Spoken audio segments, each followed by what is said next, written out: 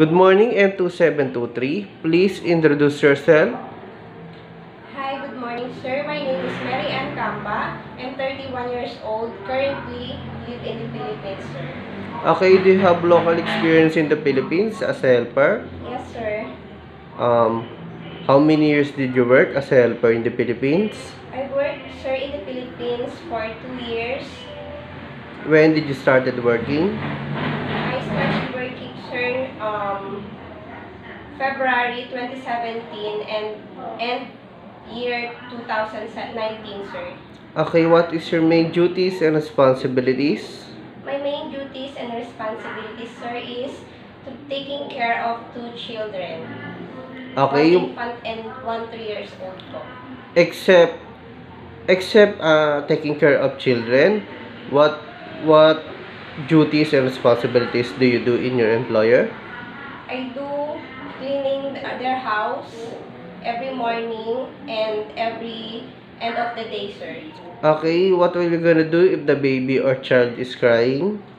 I give he, her a uh, toy or I I play with them po.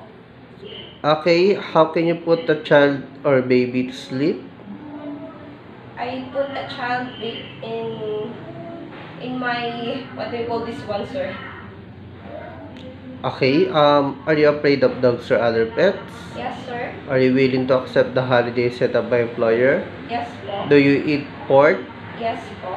Allergic to any kind of food, drugs, or detergent? No, sir.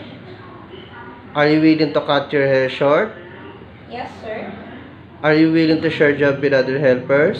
Yes, sir. Do you smoke? No, sir. Do you drink beer or alcoholic drinks?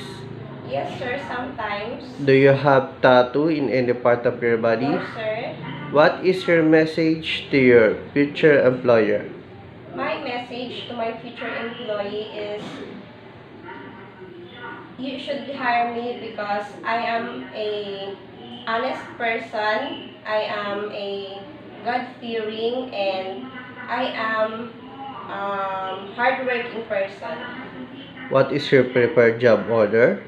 My preferred job order is to taking care of the children and doing household chore. Okay, thank you M2723. Thank you, sir.